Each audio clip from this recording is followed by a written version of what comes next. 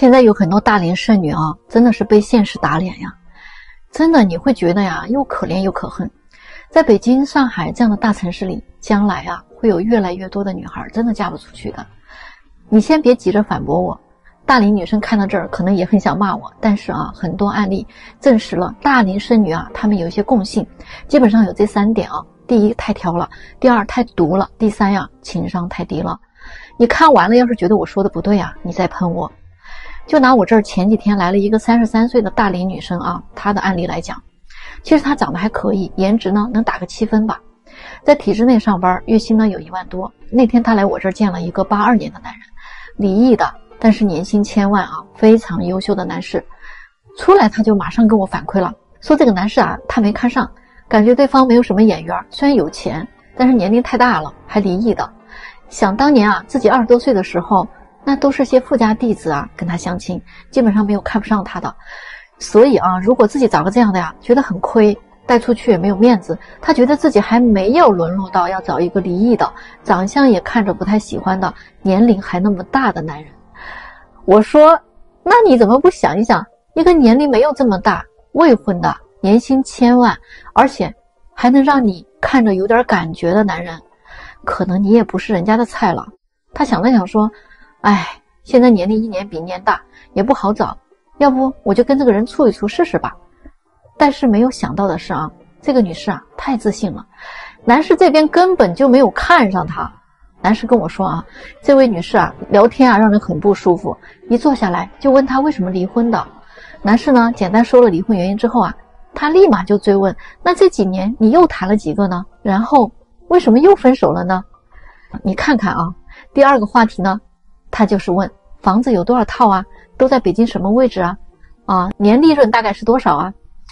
还问男士半年内有没有结婚的打算？你说你都没有看上人家，还问这么多东西干啥呢？这个就是他的情商了啊！真的，真的情商太低了，完全不顾及对方的感受。他问的这些全部都是很隐私的问题，这就是一个女人啊，她读惯了。他的这种思维呢，是顾及不到别人的感受的。这一系列的提问，问的男士很尴尬，实在是反感的不得了，还怎么跟他有下文呢？这些大龄剩女的通病就是挑，挑了收入，挑颜值，挑了颜值，挑学历，挑了学历，挑资产，挑完这些，他还得挑性格。然后呢，他们好不容易挑了个满意的，结果人家看不上他，不然就是相处起来太累了。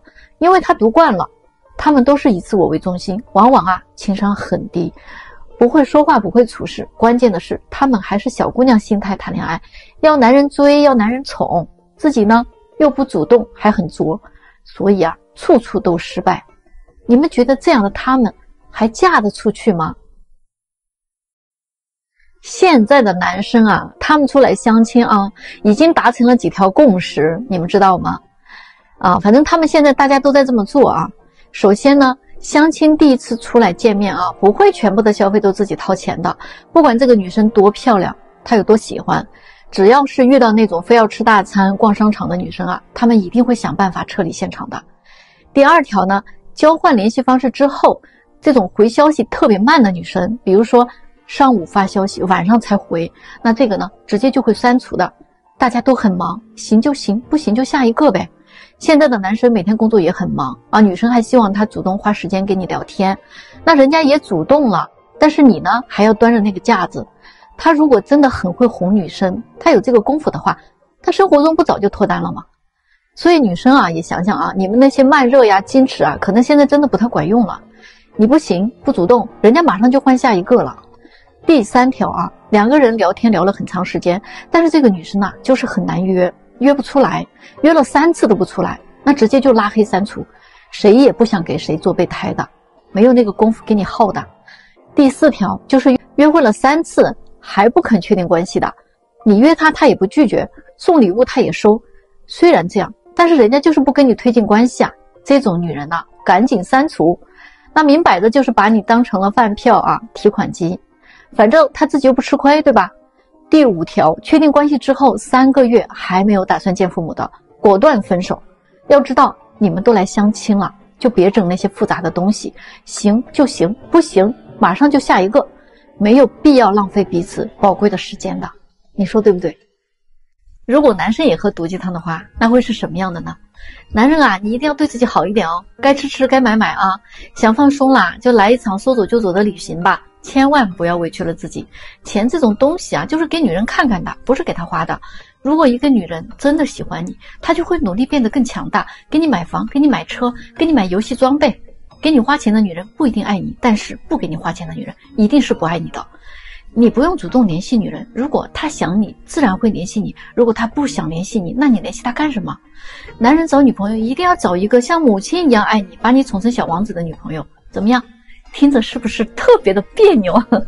但是又有几个男人真的会去这么想呢？而很多的女人却会真的成为毒鸡汤的牺牲品。想想现在多少毒鸡汤祸害的年轻人，特别是一些好端端的家庭被拆散了，毒鸡汤的功劳真是堪称第一。特别是女人被毒害的最深的那几句啊，第一句就是“家是讲爱的地方，不是讲理的地方。你给我讲理，那你就是不爱我。”我真的想笑死。男人不跟你讲理，那他跟你讲什么呀？就哄哄你，能解决问题吗？第二句，真正爱你的男人是把你当女儿一样来宠爱的。说这句话的人，我就想问问你有没有把人家当爹一样去孝顺呢？男女之间是一种价值交换的关系，你啥都不想付出，又想别人把你当女儿宠，凭啥吗？人家又不缺个祖宗。第三句，我在自己的家从来不做家务，凭啥嫁到你家我又得洗衣服又得做饭还要带孩子？我想说啊，你既然结婚了。你必须得分个你家我家吗？再说了，你做的饭就是给男人吃吗？你自己不也得吃吗？这个家你不用住的吗？你不也得住吗？这孩子是给男人生的，不是给你自己生的吗？第四句，给你花钱的男人不一定是爱你的，但是不给你花钱的男人一定是不爱你的。什么玩意儿啊？如果这个男人只要是给你花钱了，就代表爱你，那我请问你是个什么东西呢？是个被交易的商品吗？最后一句话。只要女人还能生孩子，就没有真正的男女平等。如果想平等，就让男人也生孩子。我就想问问你，如果男人还能生孩子，那要你干什么呢？千万不要小看这些女权主义的毒鸡汤。一个人长期被这种思想灌输啊，他的价值观就会扭曲的，最后自己都不知道自己因为什么就离婚了。你们说对不对啊？你去看一看啊，富人呢基本上不会娶美女的。大家觉得富人身边一定是美女如云啊，这确实没错。但是你仔细去看一看富人的老婆，虽然没有特别特别丑的，但是基本上啊都是相貌平平，或者呢也就是中上颜值。但是这些女人一定一定有过人之处的，要么就是年轻的时候陪伴富人一起走过了那些吃苦的那段人生岁月的女人。要么就是家庭背景非常显赫的门当户对的大家闺秀，要么呢就是平民当中样貌、气质、性格和内在都很出众的女人。就是这第三种啊，是很多很多普通女人呐梦想着能通过婚姻改变命运的原因。很多这样的女人起破了头也要来参与竞争。前不久啊，我这里就来了一个女孩，长得是挺漂亮的。一问她的择偶要求，我就觉得她不太可能。她说。就想找一个让他直接财富自由的人，否则呀配不上他的颜值。我就问他，那你说的财富自由的标准是什么？年入百万、千万还是什么样的？他淡定的说啊，年入百万可能连大城市里边中产都达不到吧，至少存款都得过亿才可以。这种人呢，至少都是得开劳斯莱斯别墅一两千平的那种。年龄多大我倒是不介意的。他看我面有难色啊，就说，你这里是不是根本就没有这样的人呢？我说有是有的，但是不知道你符不符合他的标准。要不你等一下，我先跟这个男士沟通一下。于是呢，我就拨通了一位身家过亿的男士的电话。我把这个女孩的基本情况跟这个男士说完了之后啊，男士说：“美女谁不喜欢啊？但是要娶回家的女人的话，我还是希望她有更多的其他方面的特长。长相这块儿，我反而可以不需要太漂亮的。”我京郊有两千平的别墅，还有四辆两百万以上的车，然后我的年收入大概五千多万吧。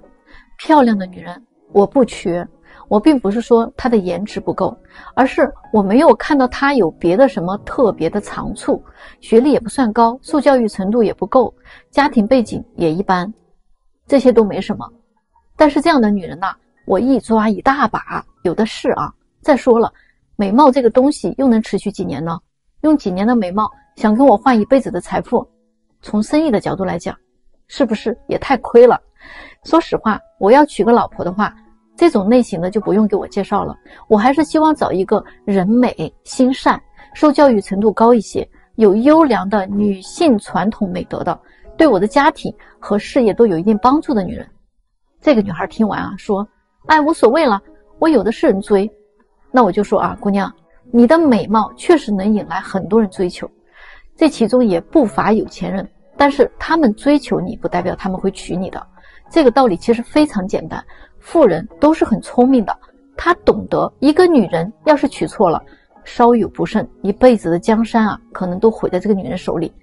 他们考虑的可没有你们那么简单，你们觉得呢？今天有一个男生过来啊，跟我聊起他最近相亲遇到的一个事儿，真的是挺逗的。前两天呢，他跟一个女孩相亲。他刚把自己的情况跟女生一说啊，这女孩就巴拉巴拉就开始说开了。哎呀，我看你条件是不错的啊，我呢就几个要求：结婚的话，我们家要五十万彩礼；北京呢三环内两百平的房子，不能有贷款的那种；房产证上啊得写上我的名字；四十万以上的车。感觉呢，这个其实是已经老掉牙的套路了啊，大家也听得挺多的，没啥好奇的，对吧？那男生呢，倒也还挺好说话，他说啊，这些都没有问题。可是女孩接下来说的话就有点离谱了啊！他说：“咱们要是结婚了，是不是就是一家人呢？”男生说：“对啊，那咋了？”女孩说：“那结了婚，你不就是我老公吗？我呢还有一个事儿啊，就是我欠了五十万外债，那结了婚你得替我还啊。”这时候男生心里就开始打鼓了啊，合着你是要找一个给你还债的呀？那债还完了，还拿着五十万彩礼再跟我离个婚，这里外里的挺合适啊。真能算计，然后男生也就不示弱了啊。他对女孩说：“这倒没问题，但是我也有个问题要问你啊。那如果我也欠五十万外债，你会给我还吗？”你都想不到这女生怎么说的啊。她说：“你欠五十万，我还能跟你在一块吗？你都没有能力养我了，也没有能力保障我的生活质量，那我还跟你在一起干嘛呀？”男生说：“那你们女的不一直都在讲男女平等吗？原来就是个口号啊。提到女性利益的时候。”哎，就就倡导女性优先。谈到责任付出的时候，那就是男人的义务。女孩马上就说：“我这么貌美的女人，那有的是大把的人追。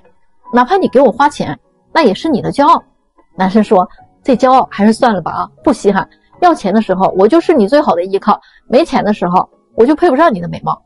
你还真是一套一套的。”女生刚又要开口哈，男生立马就说：“你闭上你的嘴巴，我看不上你这样的，听懂了吗？” 就是这么个事儿啊！我就是觉得吧，这男生怼的呀太有水平了，你们说是吗？今天啊，一个二十八岁的女孩跑来跟我哭啊，说后悔了，想跟男生复合。那我就问她咋了嘛？她说啊，跟男生相识啊半年多了啊，相亲认识的。前不久啊，他们去见了父母，就因为女孩的父母提出了几个条件，男生这边不太同意，不愿意顺着他家里的意思办。女孩啊，就当着他的父母的面。跟男生大发脾气，当即啊就叫男生滚出去。那他呢，从小全家就很宠。他说，就是他不宠我，他不照顾我，父母提点要求，他都觉得过分。我当时就是很生气。但是啊，这个男生离开之后啊，一个多月都没有再联系过他。那前两天呢，他就开始有点后悔了，跟几个朋友去酒吧玩啊，喝多了就直接啊奔男生住的地方去。敲门，男生一听是他，就不给他开。这个气急之下啊，女生呐就开始砸门了，一直啊闹到了邻居报警，直到警察来了，这事儿才算完事儿。但是啊，男生表示不会再跟他复合的，所以今天啊他就跑我这儿来了啊，想让我跟男生谈谈能不能重新在一起。你们说说，这样的女孩，男生还会跟她复合吗？我就跟他说啊，假如一个三岁的孩子像你这样子。那我们会说这个小姑娘啊，奶凶奶凶的，挺好玩儿。假如一个十七岁的女孩像你这个样子呀，我们也会说这小姑娘有点刁蛮任性，哎，也挺好玩的。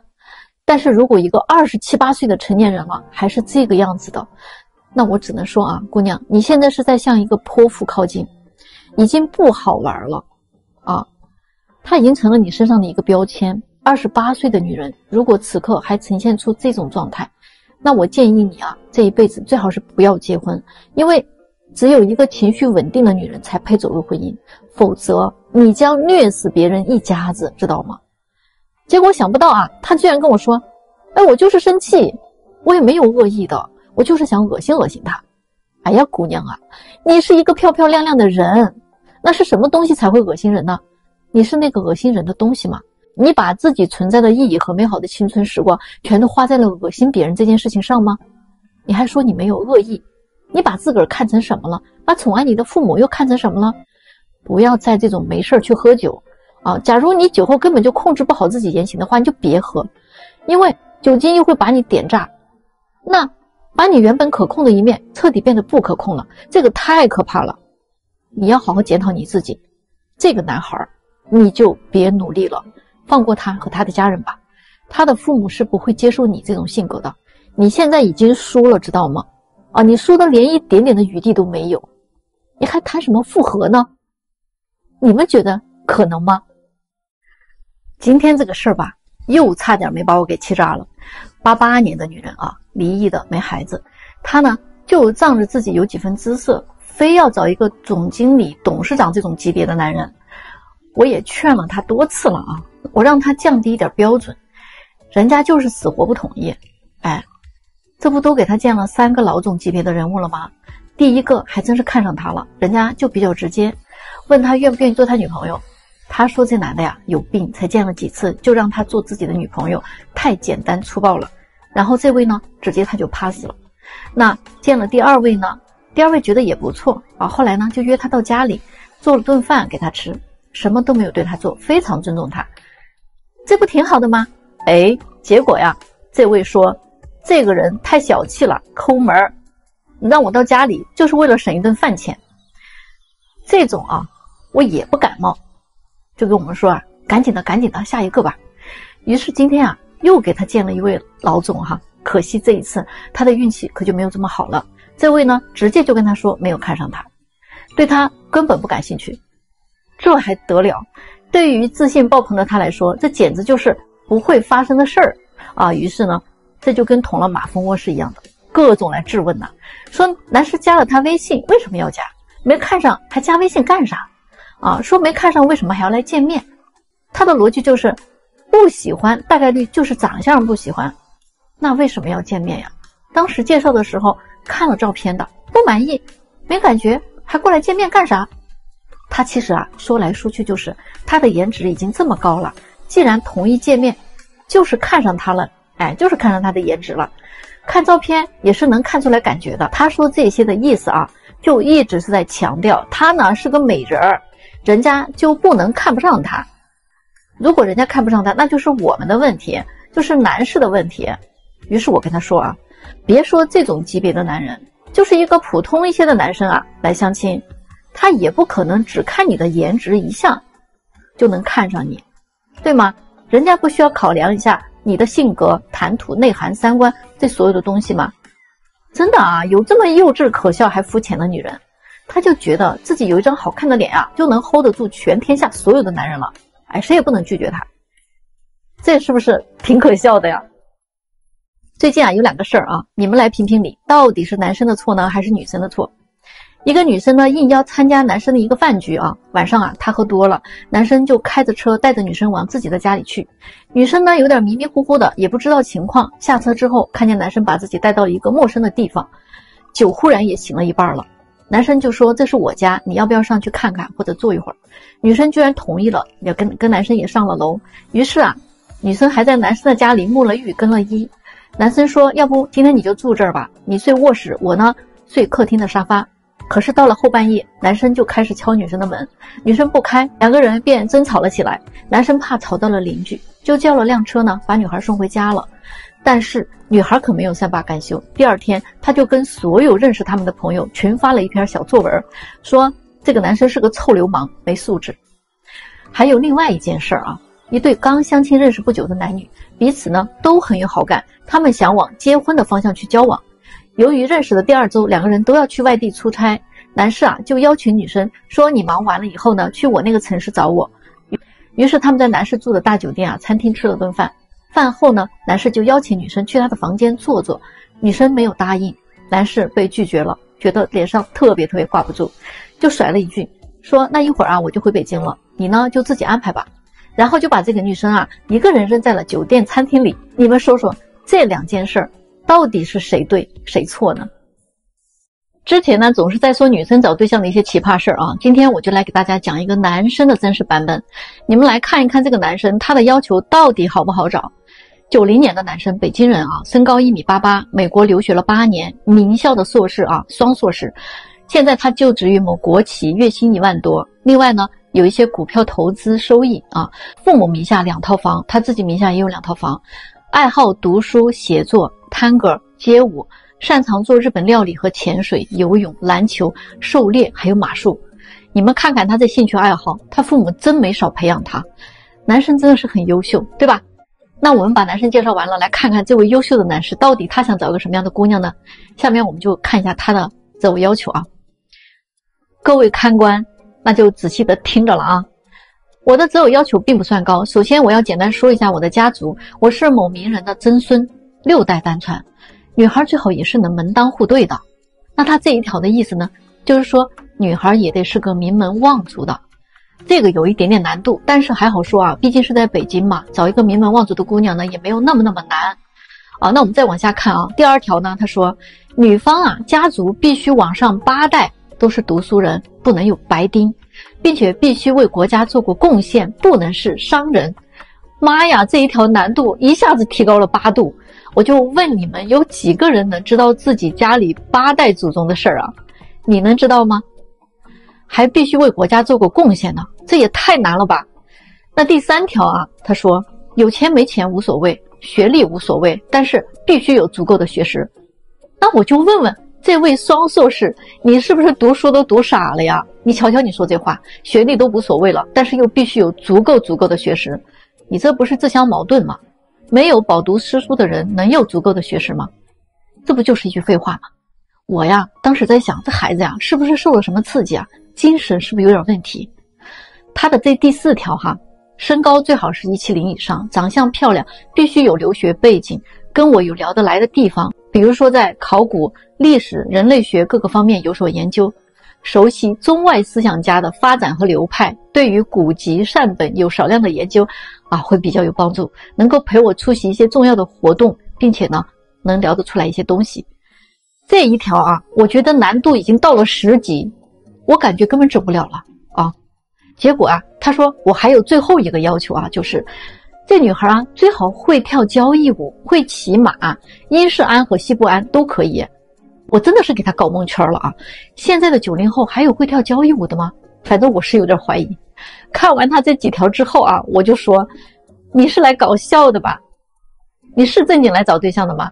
他说：“是啊，我当然是来正经找对象的呀。我还有最后一条，我要补充一下，我对他个人的经济方面没有要求，不要求会做饭、会做家务，不要求对方的财力、房产或者是车，但是我希望呢，他能理解世家弟子的一些规矩和难处。”哎呀，我的妈呀！我说你能理解一下我们的难处吗？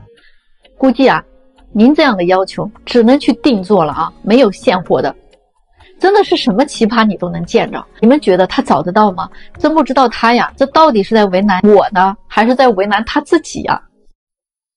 现在啊，结婚率低，其实还有一个很关键的问题，就是现在啊，适合结婚的女人呐，真的是很少的。你看啊，有一大部分的女人呐。成天的做梦，想嫁个大老板，找个有钱的人，过上十指不沾阳春水的少奶奶生活。那普普通通的男人怎么会被他们放在眼里呢？他们自己真的赚不了几个钱，但是成天啊事儿特别多，啊心比天还高。最可怕的是那些女人还超级的自信，觉得是男人降低了他们的生活质量。难道你以前是公主还是富豪的女儿啊？我自己也是个女人，我都不会替这样的女人说话。他们自己啊，一个月也就挣两三千，还瞧不上人家一个月挣好几万的人。那么还有一种女人呢，她们呢自己有自己的事业啊，也非常优秀，物质条件也很丰富，她们就希望找一个比自己更强大的男人，觉得才对得起自己的优秀嘛，才对得起多年的奋斗嘛。但是啊，他们又多少有点强势，而且年龄还大，优秀的男人只想找青春靓丽。哪里会找这种人老珠黄嘛？而且还有最关键的一点就是，现在的有些女人已经完全丧失了作为一个女人的功能了。她不会做饭，不会做家务，她还不想生孩子养孩子，也不会照顾老人啊，也不会照顾老公。大小姐的脾气还不好，动不动就闹离婚，成天就琢磨一件事儿：老公给我多少零花钱，你给少了就是你没本事，瞧不起你。娶了这样的女人呐，一旦有了孩子，你就会发现你真的是娶回来了一个祖宗啊！有的男人真的是啊，生不如死。其实这些女人真的不知道，如果没有了这些男人，她可能连饭都吃不上。那你就说，这样的女人现在越来越多，男人找这样的来干啥？难道就是为了娶一个连孩子都不愿意生的女人回来供养着吗？现在的男人啊，不光得会挣钱，你还得会干家务活，你得懂浪漫，会幽默，真的太累了。所以现在的年轻人，他就不想轻易结婚了嘛？你们说我说的对吗？